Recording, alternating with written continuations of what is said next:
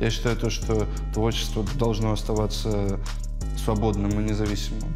Если артист следует рамкам должен, не должен, то его можно с натяжкой назвать артистом.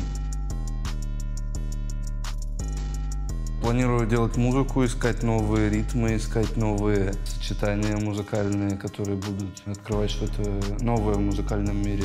Это главная задача.